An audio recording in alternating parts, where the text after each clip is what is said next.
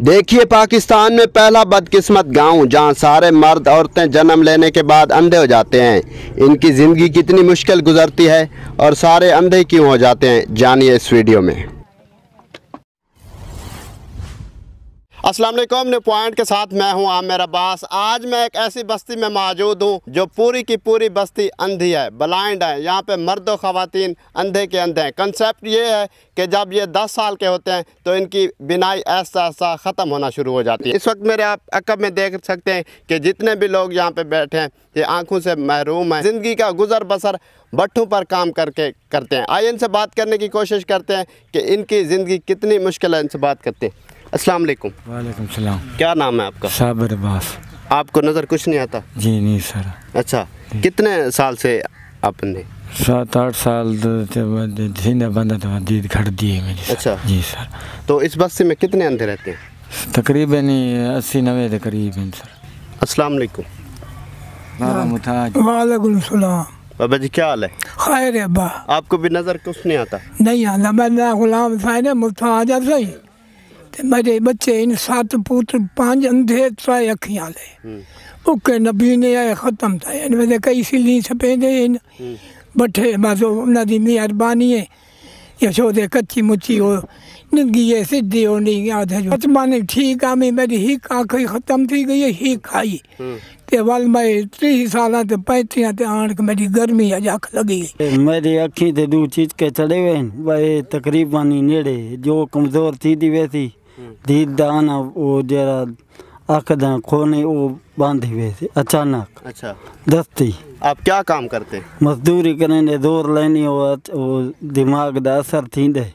वो अख होले होले लगी है वेंदी अचानक बह वेंदी। क्या मजदूरी करते हैं आप? थपेर करेनी। कराया है त्रै चार दफ़ा ऑपरेशन कराया है। अच्छा। पर ऑपरेशन नाकाम है। सही। ये जो बस्ती है अंधों की मतलब सारे अंधे रहते हैं जी हाँ जी। औरतें भी हैं? जी हाँ जी हैं। अच्छा। खातन हैं। तो दिए मुताज अच्छा। नो आई अच्छा। तो डॉक्टरों ने तहकीक की है बीमारी है कैसे? ये मुझे ये बताएँ कि ये बीमारी आई कहाँ थे सी बीमारी है। अच्छा। हाँ डॉक्टर मल गई है। सिर गो देते सोजाबाद अच्छा। वही ते गए इस्ताखार लइया ला बैठा वहाँ के दिहाड़े माशर अक्की बनसन असागुन मल गए। नाजरीन इस वक्त हम उस जगह पे पहुँच चुके हैं जहाँ पे तपती धूप में ये मेहनत मजदूरी करते हैं और इनके घर का निज़ाम चलता है। इनसे बात करने की कोशिश करते हैं। अस्सलाम वालेकुम। वालेकुम सलाम सर। इतनी ज़्यादा धूप है तो मेहनत कर रहे हैं। जी कितने अरसे से आप मजदूर हैं आँखों से?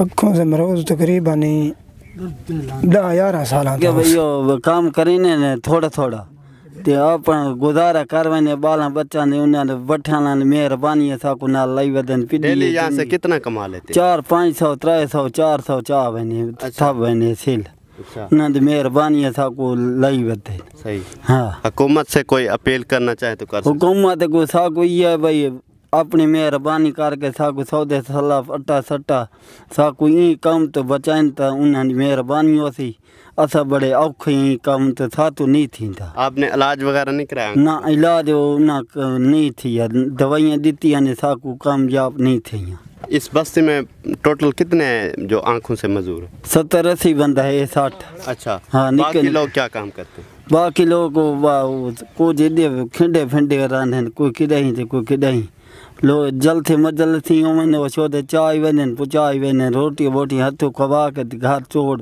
पुचा वञनि सही। जी।